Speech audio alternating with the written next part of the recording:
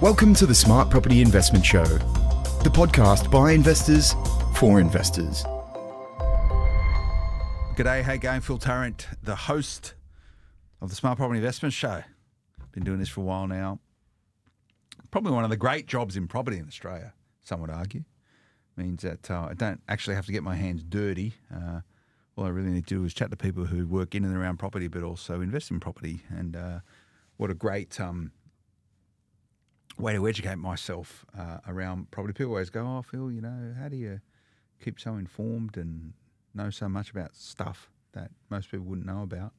Uh, it's because I host lots of conversations like this uh, with people who know what they're talking about. So for me, it's a great way to learn, great way for me to shape um, my views and my perception and perspective on certain things. Uh, allows me to challenge, to question, uh, to debate, um, which I'm quite comfortable doing, uh, as long as uh, it's based on play the ball, not the man. Um, that's what we do on the Smart Property Investment Show and elsewhere. So, this is the fifth instalment of our special series of the Fast 50, uh, the report we do every single year, where to put your money today for the best capital growth in the year ahead. We do it in partnership with our friends over at Pure Property Investment, the buyer's agent, C, and the buyer's agent, still the principal primary major, I don't know what he calls himself these days, buyer's agent Paul Glossop. He's the CEO and founder of the place. The major. The major.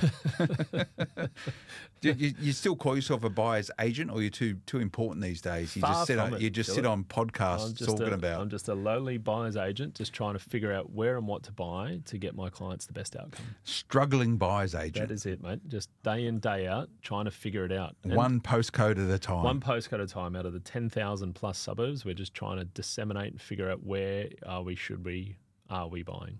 okay, you get it largely right, don't you?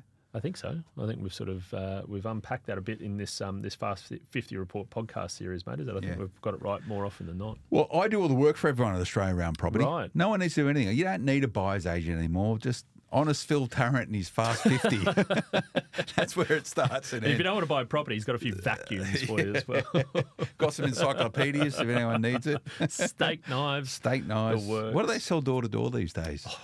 Electricity plants. They don't even do that I don't want. I don't want to bag out, but I see a lot of charities knocking on the door Yeah. with their. Chuggers. Oh, is that what they are? Charity muggers. Yeah, that's what they're called.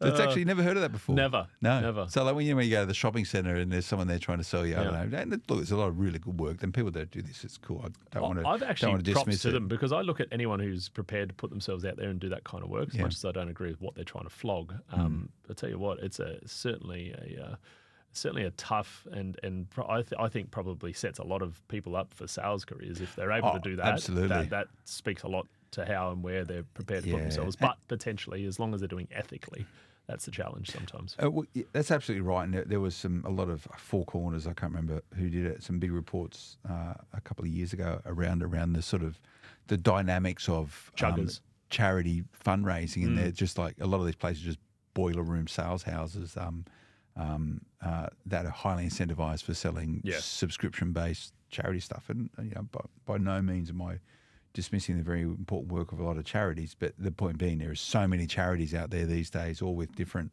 um, uh, objectives, and they need to raise funds in some capacity. So that's one gateway available to them. Um, but uh, mate, I think they stand there waiting for QF2 uh, to come in, to come in from London, and they uh, put a sign up and says "Wanted English There- there is a fair few English Northerners who do seem to find themselves there first and foremost. They do. Good they're on either there or they're in property sales somewhere or other. Talking about some of the, the suburbs that didn't make the Fast 50 report, Yep. but are still good. Still good. So good. I, I actually um uh I, I try and avoid it, and for some reason my social media feeds think I I am interested in property related stuff. Right. Uh, so I get all the the sponsored posts coming in from all the different buyers agents and all this sort of stuff. There was one in particular, uh, and this is important. Has a point. Uh, I won't I won't um uh, she a female. She's been around for a long time. A lot of people value her opinions, um, but pretty much pointing to some major concerns she has around spruiking property salespeople Mm. selling um, off the plan developments, uh, pretty much saying, you know, they're they're not property investors, and this is connected in with this whole notion Yep. of, of of charity sales. You know, they're, they're just out there trying to sell off the plan apartments or, or uh, no, it wasn't off the plan apartments, it was house and land packages. Yeah. Sorry. Yeah. Uh, house and land packages and just saying that might be cool for owner occupiers, but if they're selling you on the basis of, of it as a, as investable Yep. stock, just be quite weary about it. Yeah. And um, I don't always agree with this particular person's um, uh, investment strategy, but I, I thought she made a fair and valid point. Yeah, and uh, mate, you and I both have had our time and tenure sitting on the board of the Property Investment Professionals of Australia, and we talked about this off and on for, for years and years and years. And um, you know, we- we're we've, we've personally both probably witnessed, and you probably more so than I feel, is that my vocation as a investment property buyers agent was was I was one of you know maybe a few dozen a decade ago.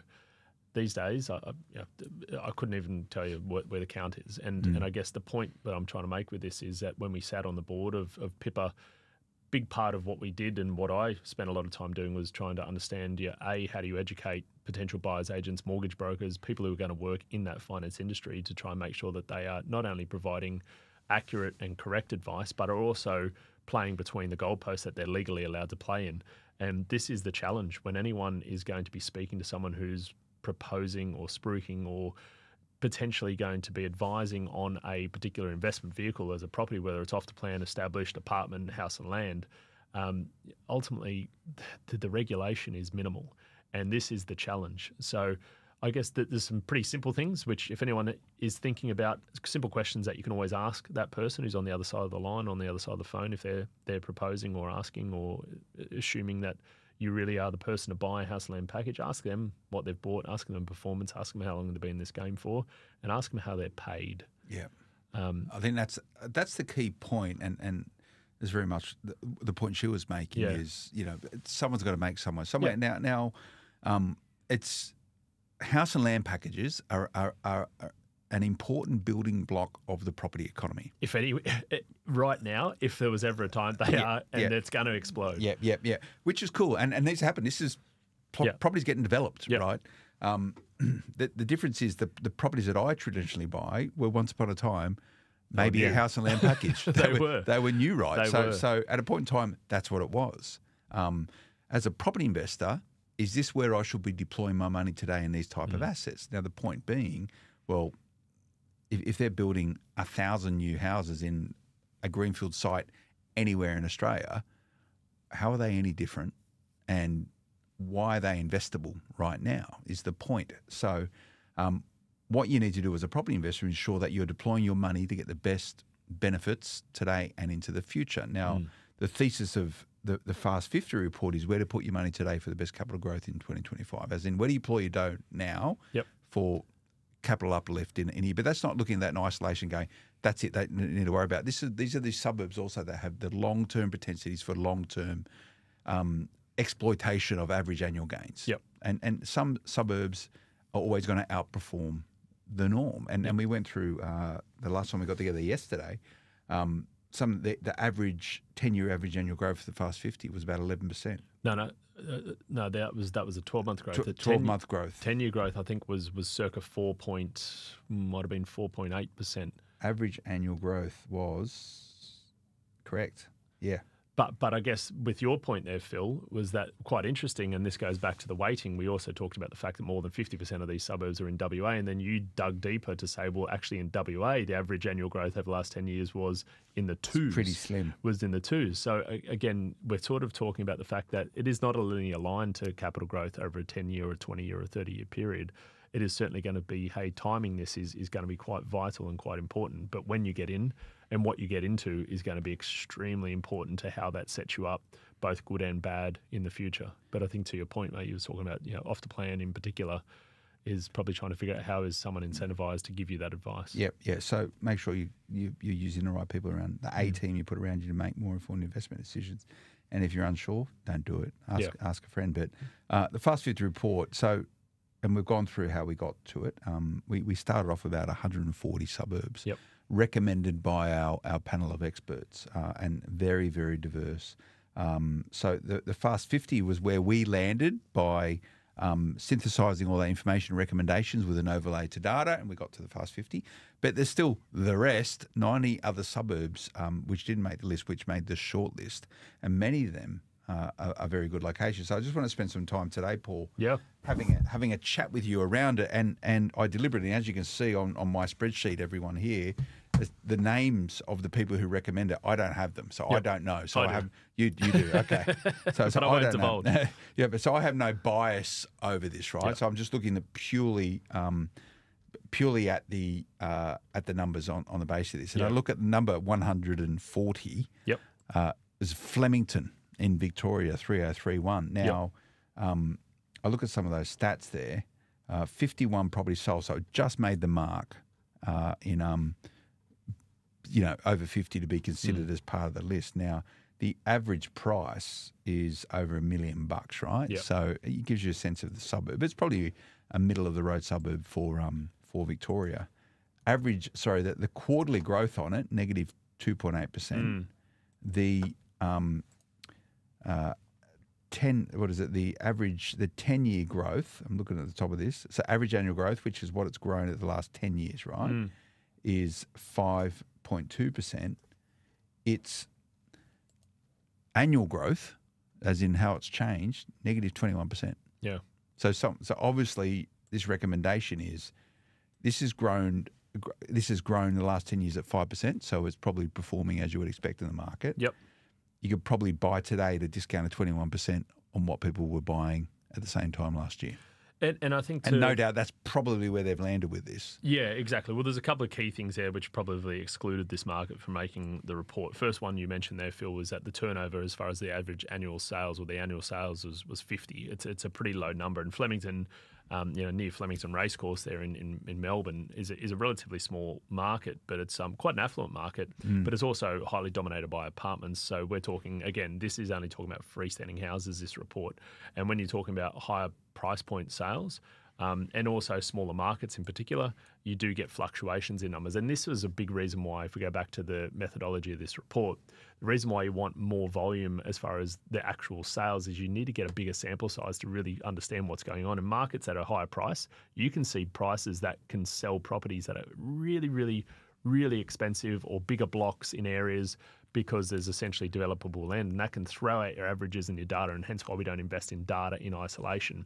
But to your point, Phil, is Flemington potentially a market that's going to turn a corner quickly in the next 12 months? In my opinion, no. But is it a market that may be on more of the, uh, hey, it could be getting cheap and if you're looking for a blue chip market to get into, yeah, you, look, it could be correct It- timing. It could suit your investment strategy at the moment. Um, Yep. But then, you know, I look at some of the other suburbs here and just to try and group them to give us some um, some commonalities. Uh, I see Bankstown in the list. I see uh, there's some other similar type of places. I see Auburn.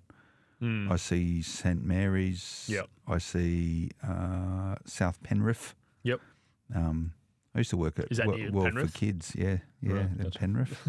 World for Um, Kids. World for Kids, a toy store. Well, so one, Uncle of my, Pete's toys are magic. one of my. You work at Uncle Pete's? no, I didn't, but I do remember Uncle Pete.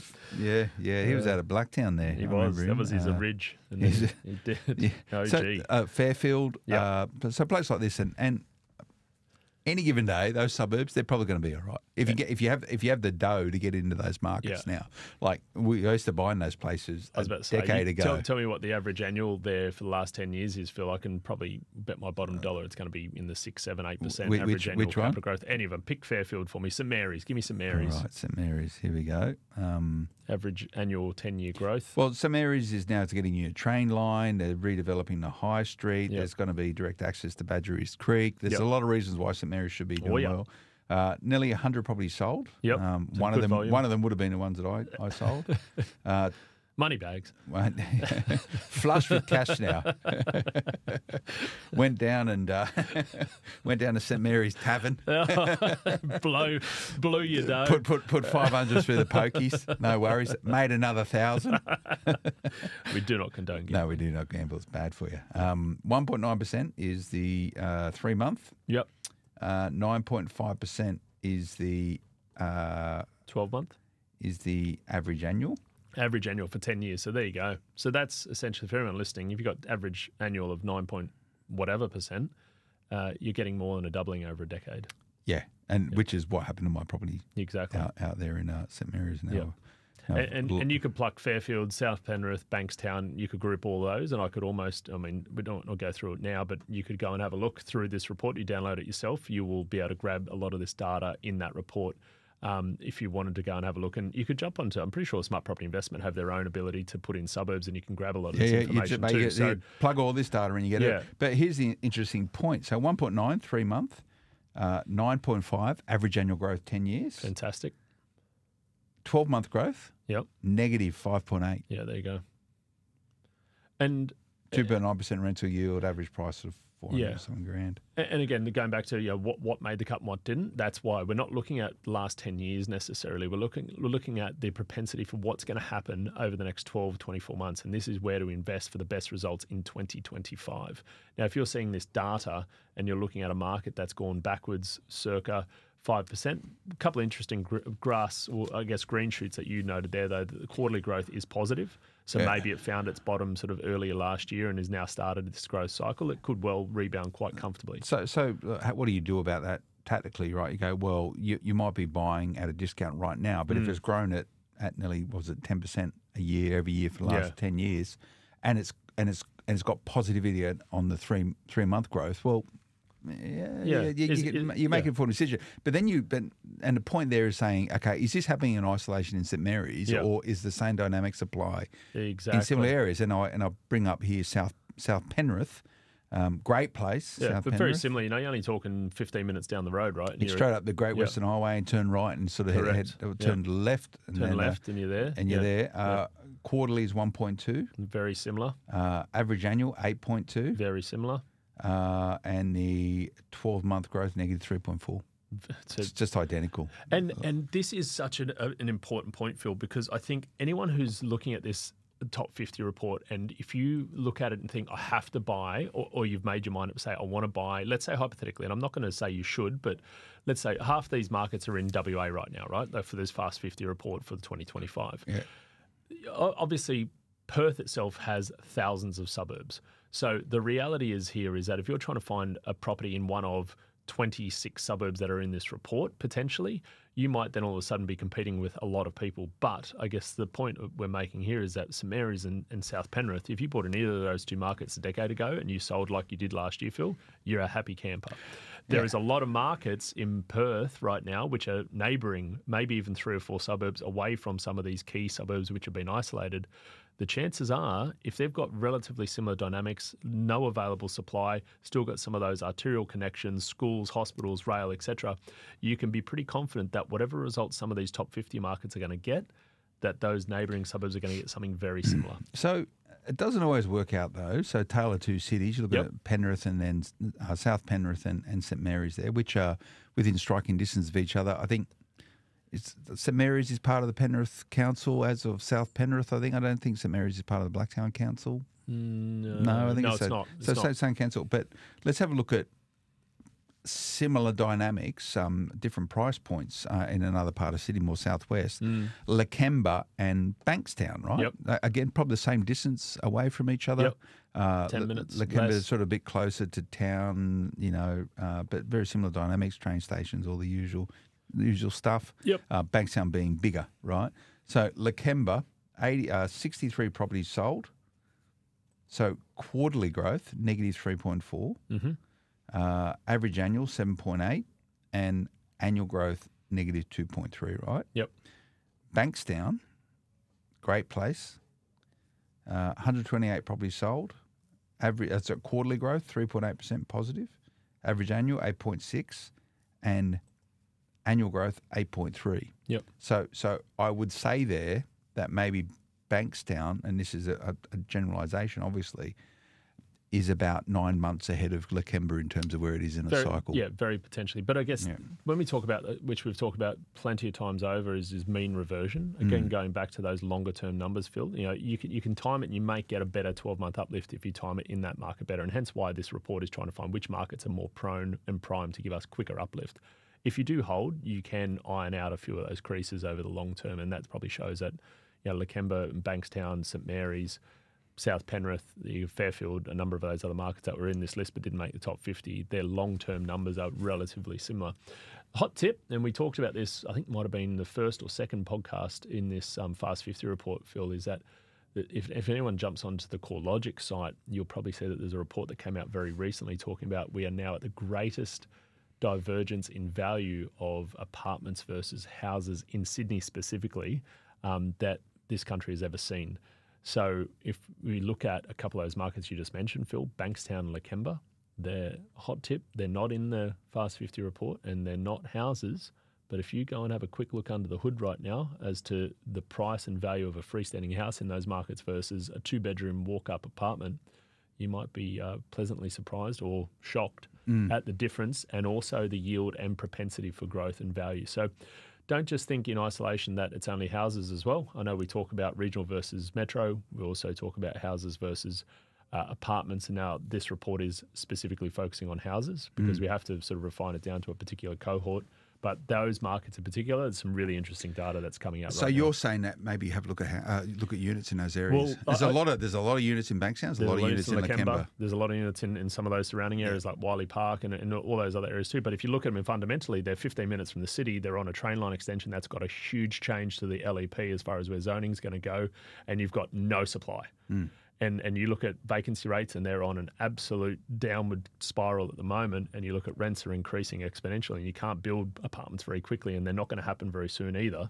You might see that, hey, with an, with an overlay towards migration and where, where new migrants will come and live. And the average house price in that, all of those suburbs you just mentioned is expensive. Mm. Yeah. The, the hou- average house price is expensive. What's a house in, in Lakemba, Phil? I assume it's going to be closer to a million than it is 500,000. Well, 1.3 in Bankstown. Yep. And uh, Lakemba, uh, which I've lost really quickly, was 1.1 by memory. there you go, $1.1 million. 1.106. You have a quick, anyone who's listening, jump on realestate.com quickly and go and look at what a two bedroom apartment might cost you, and you might be surprised. I reckon you're in for 450, 500 for a two better. in some there cases in less. Lakemba. In some cases Yeah. less, Phil. Uh, and, and this goes back to, you know, So you're going to say that that divergence will close? It has to. Yeah. A- And this is the point here is that yeah, people these these are areas that are highly densified. There's a lot of jobs. There's a lot of Densified? education. Densified, Is that maximized. It is now. We make up a lot of words okay, on this. fine. yeah. I'm okay with that. But it, but it comes down to the fact that these are the gaps that will start to close Mm. because people in these areas, and, and especially in these areas which potentially are are led by a lot of families and, and different ethnicities that want to stay close to each other, they might say, "Well, I'm not prepared to move out 30 minutes out west Mm. because I want to stay close to family, friends, jobs, whatever it looks like." They end up going into this process where they say, "I've got to buy my first home here." And, and that's an important point. It's talking about how the data may give you clues, but you've got to get out there and have a look around. So, so if you go out to Lakemba and Bankstown, um, uh, which is which is home for a lot of migrants from the Middle East. Yep. It's just, it's just and it's been that way now for probably thirty years Since we've grown up, Yeah, yeah, um, definitely. Um, so huge Middle Eastern communities out there. Yep. You walk the streets of Lakemba, um, and uh, you have Definitely a the lot of best shawarma in, in Sydney. Mate, great shawarma, some great Lebanese bakeries out there, Absolutely. like Granville in um, uh, which Yep. is closer to Parra. Um, big Middle Eastern communities. Uh, then you look at other areas in and around that way, like Liverpool or Cabramatta. Yep. You know, you have um, uh, large communities from from Southeast Asia. Yep. Um, you go out through. Toongabbie, Seven Hills, uh, Blacktown area now, you have big communities from, from South Asia, so uh, Pakistan, India, Sri Lanka. Uh, you go out sort of a little bit west, B- Blacktown a little bit west, you have big Filipino communities, Yep. right? Um, so this is how it all works, and, and we're a nation of migrants, right? And and, and traditionally migrants, you, you go to Bondi, there's heaps of Irish, right? You- you- they can't afford out there because they spend all their money exactly. on beer. Yeah, you can't get in a pub, can't get into a rental. But these are the local dynamics you need to understand. Now, um, and, and let's use Bankstown or Lakemba as an example. Um, when, when, when you look at what drives migration, uh, the Middle East right now is, is probably going to be sparking a lot more migration because 100%. of conflict there. Okay, well, you know, this, this, this, this is not a podcast about that, but but when migrants come to Australia, whether it's Sydney, Melbourne, it's normally where they where, where they, They where they start. well over 50% Yeah. start. What are they going to do? They're going to go, where is my community? Where is my family? It's in Lakemba or it's Bankstown. I need somewhere to live. Wow, I can't afford a $1.3 million house in, in Bankstown or I can't afford $1.1 million uh, in Lakemba. I will rent somewhere and I will probably rent a unit. You know, some That's really, how it starts, right? And, and, and you know, I've got great affinity with, with the Mid- Middle Eastern community here in, in Australia, and you see these dynamics playing out, you know, Yeah. and, and this is the, the, the story of the migrant story in Australia. You saw it in Cabramatta in the eighties. Um, Yeah. uh, now it's it's it's it's and one of the great things um, uh, about Sydney, for example, but you see the same in, in, in other nationalities. You don't need to live Australia to get a cultural experience somewhere Not else. Go to Lakemba one night on a Friday or Saturday night. Yeah, especially around this time it's- of it's like- Ramadan and it's- Eid coming it's, up. It's, It's, it's it- like being downtown Beirut, Yep. right? You know, you, you go to Cabramatta, you know, it's, it's it's like being Saigon or Ho Chi Minh City, right? Like it's cool. Yeah, absolutely. And and I think to really interesting data, if you sort of say, well, what does that mean if you've got a huge amount of migrants coming in at a period of time? Um, there's some interesting ABS data that's come out recently talking about, well, what happens to these people when they come and they rent? Because the first port of call is they, they find a home, then they typically will find, will, might find a job, they might stay with friends and family, then they find a home. Now, that home typically is going to be close, if not where they end up landing first and foremost. So at the moment, you know, we're talking about this Fast 50 report. Majority of these markets are going to be outside of Sydney and Melbourne, and I'm not suggesting that Sydney and Melbourne are going to feature next year. But if you've got 50% of these people arriving, and you've got over 600,000 people last year arrived, and it's going to be similar this year, etc., about seven out of 10 or 70% of the migrants who land where they first live buy a house within 10 years hmm. in that same area. So when you start to think, well, how does this then extrapolate over to density and supply and demand? Well, you start to think, okay, well, ultimately what happens is, and unless things change as far as where people work, live, and they want to live, and they want to essentially raise their families, you're going to see that play out again. And you talked about places like Bankstown, places like Cabramatta. Every city, major city in Australia, has very similar dynamics where th- those types of populations start growing, and all of a sudden you've got the second generation, third generation. If we look back, Phil, you know, you, you go back 30, 40 years when we were growing up in similar areas in West and Southwest Sydney, those people who landed, typically who were renting, they actually un- invariably became some of the wealthiest property oh, owners in Australia for doing nothing other than staying where they are, working, and essentially buying a plot of land and owning it and holding it. And hmm. and that's that's the simplicity of property over the long term. But you'll find that that will likely play out time and time again.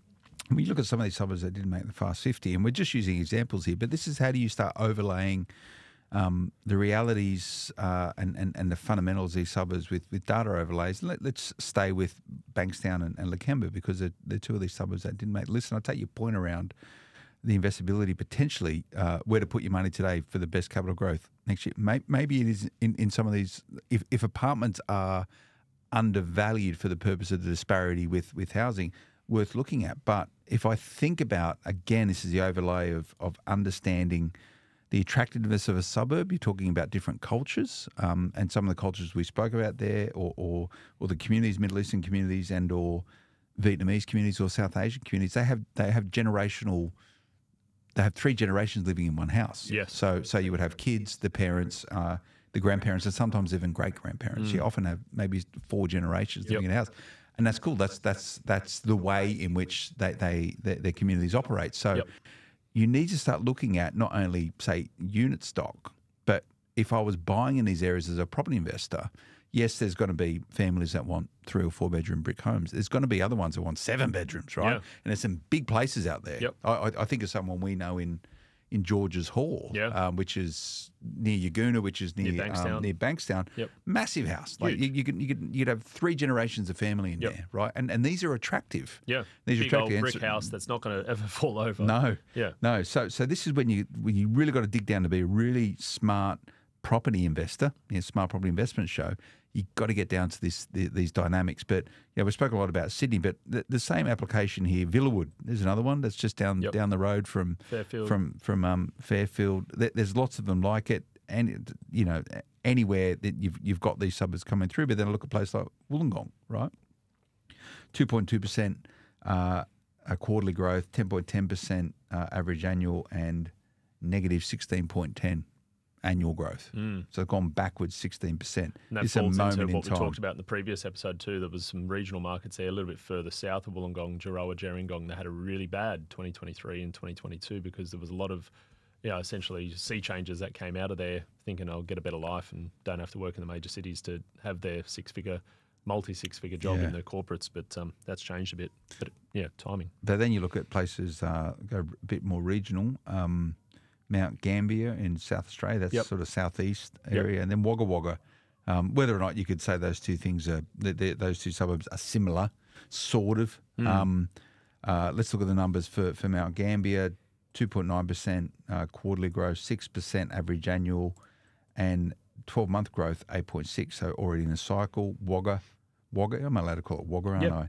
Uh, It's incorrect, but you can do it. Wagga Wagga. So 300, 434 properties sold in Mount Gambier. Yeah. You know, that's that's It's significant. Uh, 113 in Wagga Wagga. Yep. And Wagga Wagga, again, has more affluent areas and more Definitely. sort of lower Yeah. socioeconomic areas. So 2.3% quarterly growth, 7.4% average annual, and 13% um, uh, one year growth. Mm. That's pretty good going. Yeah, absolutely. Absolutely. Pretty good going. And there's just many, many, many other suburbs here.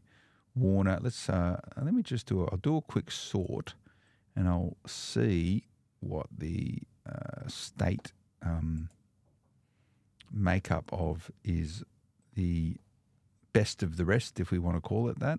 Uh, I'm just working out which column uh, it would be. Column F. That's cool. All the data's there. Only I get to do this with the data, though. Uh, you've got to download the report, smartpropertyinvestment.com au. That's column G. I'm going to go to column F here. Uh, REB awards today, Paul.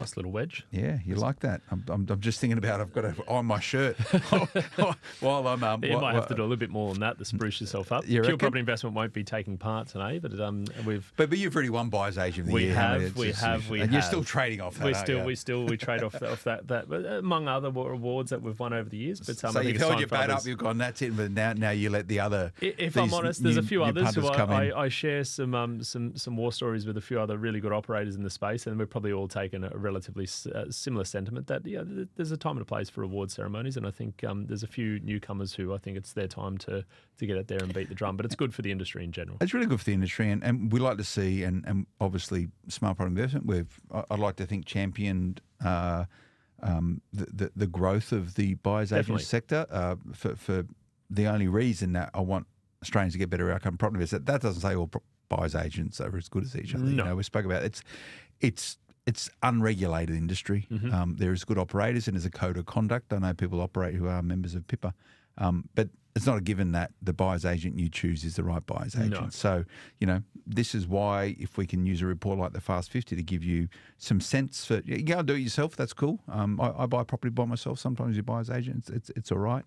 Um, but this is, should be part of your makeup uh, of um, how you go about making decisions. Now, the, the point, Paul, is uh, of the best of the rest, as in those suburbs that didn't make the list, but are still, as we've gone through, some of them are performing well. One in the ACT, Woden, Woden, Woden. Woden. Yep. Um, 17 are in New South Wales. Sorry, and this is out of, so I'll work out quick percentages. So the best of the rest, there was 90, Yep. right? Uh, so w- one, one in ACT, so about one and a bit percent. Yep. Um, 17 in New South Wales, so 20%. 20%. Uh, Queensland, uh, strong. 25. Yep. And and there's some suburbs here that made the list last year, I believe, like uh, Norman Gardens, Yep. uh, by memory, Nerang. Yep. Um, there's a new one here. I don't know it. Brush, Brush, Brushland Beach. Do you know where that is? No. No. Idea. Northern Queensland. Uh, Kelso. Yep. Um, where else? Davenport. Strathpine, I think, made the list last yep. year. Strathpine, good Um, long-term performing market. Then you got places, Sunshine Coast, Coolum Beach. Yep. I know you were buying up there for someone that I know. He's done Yep. pretty well out of that. We've done definitely bought our fair share up there. I know. Rocky, Yep. Bald Hills. Um, these are all Brizzy, Yeah. Albany Creek, Woodham, Cherbourg. So that was 35 out of the 90. Uh, Queensland well represented. Uh, five in South Australia. Uh, Northfield, I think they made the list last year. Tassie, uh, Riverside, East Devonport, um, Moon, Moonah. Moonah, you know it? Yep. Moonah. Well, I actually where, spoke to someone that's where- from um, That's where Mona is. Mona. I don't Yeah. know where the Mona Yep, is. well, yeah. It's not far from it. So yeah, I spoke to um, Melissa Burt, uh, LJ Hooker, uh, Devonport, just the other day on the Smart Property Investment Show, telling me all about what's going on there. Yeah. Sounds all right. It's a, it's a it's a bustling little market, Devonport. We've definitely bought our fair share there. I can't personally suggest that I would uh, be be recommending my clients are ploughing their money into there. If anything, I've got a few clients who have um, gone through the process of selling some properties which have doubled in value. and the that, that's what she years. said. There's a lot of investors now who They've, are they've done their done their Qu- job. quarterly growth is negative three percent. Average annual nine point one, and uh, Yeah.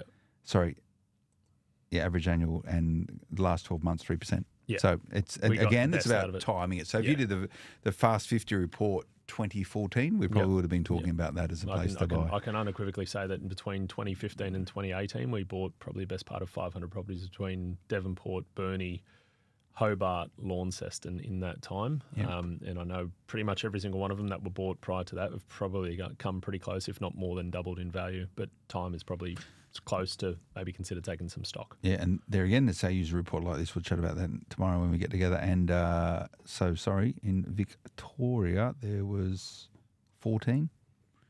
Um, Williams Landing, Knoxfield, Caroline Springs, Fawkner, Point Cook. Yeah, out of all these here, one so whatever, 14 in in Melbourne. Uh, Bald, Baldwin, I've heard of before.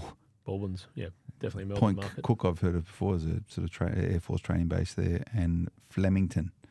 Don't- I've never heard of any of those other suburbs. Right, gotcha. Well, you are you are a Sydney sider at heart, Phil, and you're Oh, probably no, but this is the losing, problem, right? losing the Pe- face with pe- a lot of Melburnians. No, but people think they go, "I feel you know all about property. Where should I invest?" They go, "Mate, I don't- I've never heard of these places. don't ask me.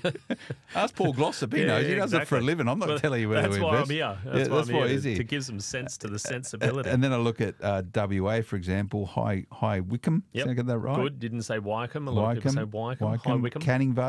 Yep. Um, Queens Park, I know of. Yep. Craigie, Craigie, Yep. Craigie, uh, Burnbury, uh, Bunbury. Bunbury, Yep. Bunbury, yeah. Spearwood, yeah. Okay, there you go. That's the go. best of the rest. Best of the rest. Should, should I do some averages? Just, just we'll round out with some averages. It'd be interesting. I think let's round out round out with maybe. I know we talked about the last episode, the, the top fifty, and, and Yeah. essentially saying that the average annual growth, and this isn't to suggest that these numbers will will essentially correlate to saying that best of the rest should be lower or higher. It's just be interesting to say, hey, look, they don't necessarily show that they are better or worse. But I know we talked about the average annual growth for the Fast 50, the top 50 out of the Fast 50 for this year uh, was essentially in the vicinity of around about 4.8 ish percent average annual growth over the past 10 years. And I think we averaged about 11% over the last year.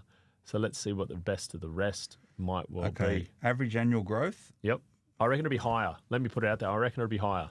Five point five There you go. Look at it. And and the reason being, everyone who's listening, and, and the reason why probably I made that assumption is that you said Phil, um, you know, out of the fast fifty, over twenty, uh, over fifty percent are in WA, and a larger portion in Brisbane. That's um the best of the rest, large portion in Victoria and New South Wales, as well as there, as we just mentioned, there was a number in, in Tassie. All those markets did really well, and hence why that average annual is probably a bit higher. Okay, so best of the rest. So the for the fast 50, 12 month growth. Yep. Right. What, what, what do you remember that number? Eleven ish percent. Yeah, eleven point zero four. There you go. What do you reckon it is for the best of the rest? Uh, the for the last twelve months worth of growth. Yeah.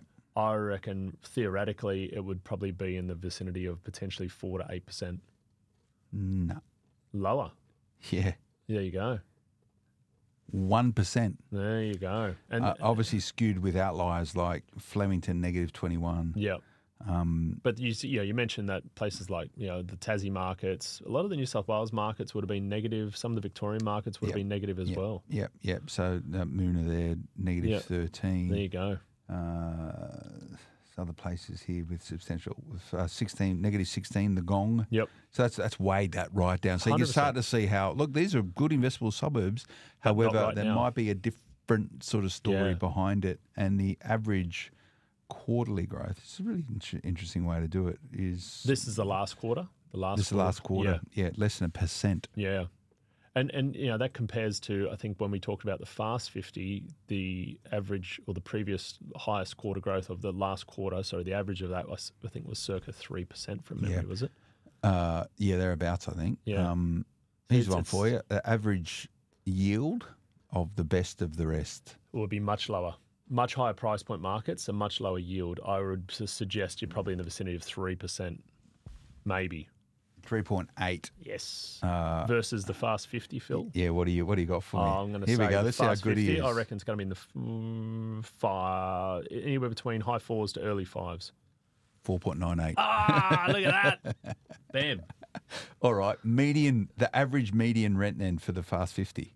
Uh, median average rent for the Fast 50. Average the average of the median rent. So all the So median dollar rents value, average. not yield. Yeah, yeah. Dollar value. Um, yeah, it- uh, knowing the price points, I think it's going to be somewhere in that probably, probably around that five to six hundred a week.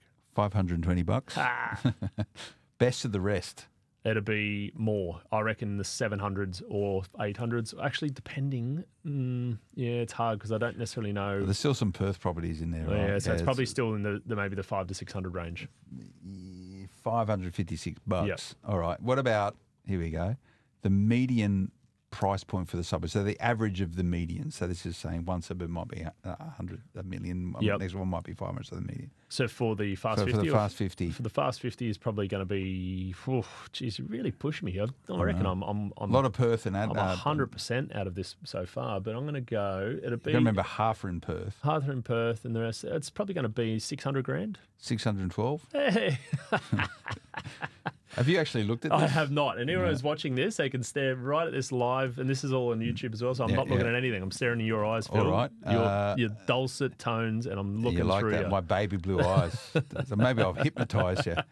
Uh, what is it for the best of the rest? Ah, Here we go. This is how good he is. I reckon it's going to be more. Oh, this is such a varied amount. 90 suburbs, the average out of 90 suburbs. Let's go. Hey, with, I'll, I'll give you. I'll give you some. I'll give you. I'll give you a bit of help. yep. Uh, probably twenty five percent of them are over a million bucks. Yeah. and there's You don't even need to tell me the, the numbers, Yeah. Phil. Tell me this. Yeah, I reckon if majority were Queensland, oh, uh, sorry, they were Victoria, New South Wales, Queensland. I reckon you're going to be in the 800 to a million range somewhere in there. I know one it's a bit of a so cop eight out. hundred and twenty six thousand There you go. So look, it's Yeah, but I guess the common theme there is that the, the Fast 50 is a lower price point market. The Fast 50 is growing quicker. The Fast 50 is has a higher rental yield. The Fast 50 has a lower average annual growth over the last 10 years, but potentially more propensity for shorter period of growth because of the quarterly growth and because of what's happened in the last dec- uh, sorry the last 12 months. So again, it goes back to what are we looking at and what are some of those key markers that we're looking at. And the beauty about this Fast 50 report and just out of those numbers there is that again, we weren't asking people to say give us your cheapest suburbs. They're just saying give us your best suburbs for growth. And we've noted there that majority of these in the Fast 50 are actually more affordable. So it gives more people a chance to get in. so the point is that there was no bias when we asked for these suburbs. No. We said to these experts, Zero. "You tell us." Just go, it was so simple. Yep. Tell us what's going to grow the fastest. Give us 20 suburbs, fast growing suburbs, We'll according to you. data. And we'll work it out. Yep. So there you go. That's that's the dynamics of it all. But that's the best of the rest. So only we know those suburbs. And if We you've do. tuned to this podcast, you know of some of them. But uh, If anyone wants to ask me some of those others, they can maybe hit would me you up. would you tell them? I'll, I'll give them some. Um, I'm more than happy to divulge. The Glengarry leads. The- Paul, or you can probably get in touch with me for those things at purepropertyinvestment.com or give my team a call, 1300 985 428. They can give you those lists, um, not me. I don't know. I'm going to make it available. Well, I've got it. I don't oh, have all of that information that you do, actually. I do. Yeah. This is it. man. Information is You'll, power. you'll embargo the link and somehow block it from me I to have a will. look at. But everyone get the Fast 50 though, can't they, Definitely, Paul? On smartpropertyinvestment.com.au. Go and download it today. Be one of many, many, many, many thousands of people. The problem is everyone's going, don't make it available to too many people. We had this problem stop, last year. Stop them now. I- I'm not kidding Yeah. you. Agents from WA last year called me and my office and said, mate, we- we've got a problem. what have you done? Well, well, unfortunately, supply Wait. was already historically low, Yeah. and you, I mean, and, and the irony here is that majority of property is still selling to owner occupiers. So this isn't like this list all of a sudden springboards investors into markets which they otherwise wouldn't have been. Over seventy five percent of these markets are getting over purchase, well, the purchasing percentages are to owner occupiers. So it's still Yeah. not, it's not really pushing these markets to a point where they're just investors. See, I'm hearing reports that, that Phil Tarrant of Smart Property Investments done more for the economic advancement of WA than anyone else. I don't know if it's economic advancement. because it's supporting property investment. And property being, mate, they're going, Phil, get get the punters out to WA. How many Green senators have you had on, on this podcast? Mate, uh, get more, get more investors out to Western Australia because the more they come, they buy more properties Yeah. and more land more tax, tax, paid. more land tax, More tax paid. I did, I did see today that um, in the paper that uh, Uh, is copping a beat up of um, uh, gouging property investors Mm-hmm. Well, because that's are, how they're they're deep in their land tax coffers. Yeah, they you have. know, and uh, sorry, stamp stamp duty coffers. Stamp duty coffers, Yeah. land tax starts at dollar one basically now. They've got a whole bunch of other requirements. Investors, unfortunately, are going to be left holding the bag, but supply is So going to drop wh- off What, because about land tax? Everyone pays land tax now, or yeah, Yeah, yeah. yeah. Because I got all these land tax bills. Yeah, enjoy backdated. to Enjoy like that. five years. And I went, Enjoy that. What what's just happened? Amazing. But I mean, this is the problem, right? Like, how does Is that, that, so hang on a second. So what's happened down there? They've gone land tax now paid. payable from from from the start? But I'd think, look, uh, as opposed to me knowing the detail, that I don't want to. We probably should do something No, because. I'm going to say things which are probably inaccurate. But I mm. think one thing I do know is that what it's done is is again further disincentivize investors to buy in a market that's undersupplied. So the issue you're going to have straight away, and this is where you've got Adam Bandt and the Greens talking about the issue with rental supply. Tell me how that's going to help rental supply. Yeah, mate, you, you, you're singing to the choir. Well, yeah. Anyway, And everyone another- else is going, yeah, another yeah. podcast. Anyway, all right. Well, about, okay, so you got all this data. What are you going to do with it? We're going to talk about that in our final instalment, number six of the Fast 50 special series of podcasts. Six days of podcasting. That's about f- six hours of listening to us. Geez, some sad people around. if gonna do that. people, are, people are frothing for it, though. I'm getting feedback going, what's going on? They go, that, someone sent me a note the other day going, Phil, you made a typo. You called it 2025 or 2024. And I went, yeah. Yeah. Yeah, you're not, I'm not telling- buying for now. I'm telling you buying where to for invest next today year. for next Yeah, year. Relax. take it easy. Just relax, eh? Just take it easy. Uh, smartpropertyinvestment.com.au. You go there, you'll find it. You can't miss it. Download it today. Uh, we're going to do a Q&A, so if you want to know anything, uh, editor at smartpropertyinvestment.com.au, we can put all that together. But yeah, Paul's team, Paul, he'd be happy to chat if you've got any questions around this. Uh, we'll see you next time. Until then, bye-bye. The information featured in this podcast is general in nature and does not take into consideration your financial situation or individual needs and should not be relied upon. Before making any investment, insurance, tax, property, or financial planning decision, you should consult a licensed professional who can advise whether your decision is appropriate for you. Guests appearing on this podcast may have a commercial relationship with the companies mentioned.